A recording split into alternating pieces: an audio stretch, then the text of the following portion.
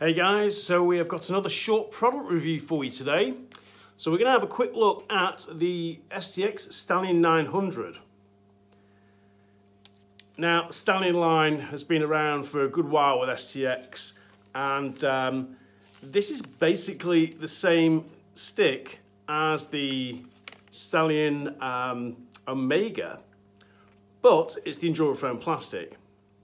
And I've got to say, I had an Omega when they first came out, actually the pre-release one, and loved it. It was a fantastic stick. And then we got them in stock, and weirdly, we got a lot of returns. Uh, it seemed STX had a problem with the first Omega.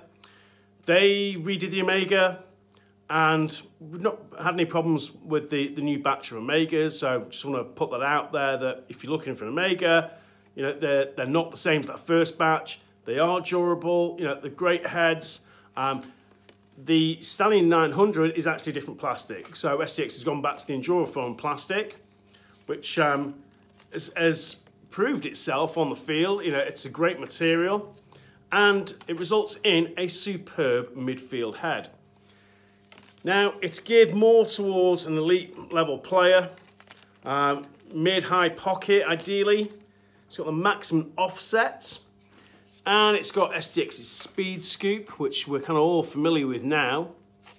Again, we've got these cutouts that you've seen before on the recent STX sticks.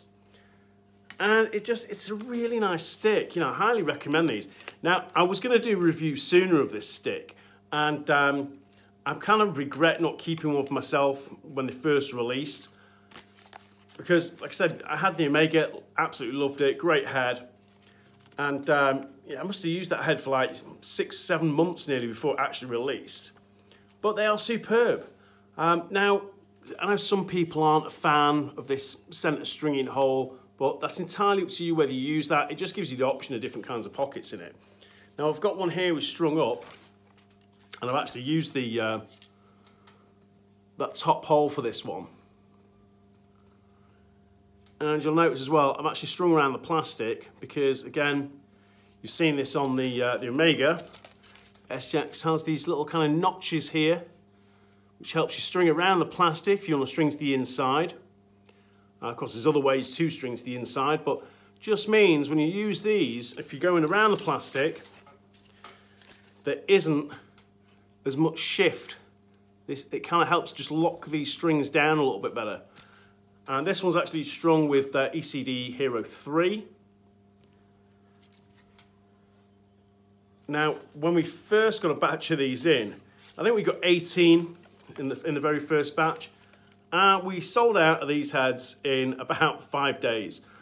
So we, I think we're on our third batch of stock now with these. They, they are really, really popular. So if you're MIDI looking for a head, and I know we have sold a couple to LSMs as well with attack guys, Stallion 900 is definitely worth considering. It is a top head. It's, I mean, for me, it's one of the best midfield heads on the market. And uh, big, big fan. I mean, it's a stiff head.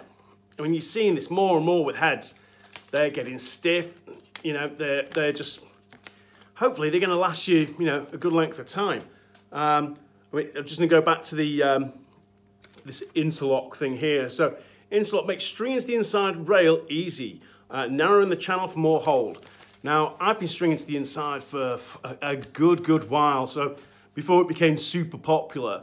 I think I spotted um, Lars uh, Sidewall Jedi string one ages ago. We're talking ages and ages. I thought, I'll give that a go. Uh, strang mine to the inside. In fact, there might be a stick here. There is. So Stallion 700, this is basically the pocket I had in mind. And I loved, loved this pocket. Uh, and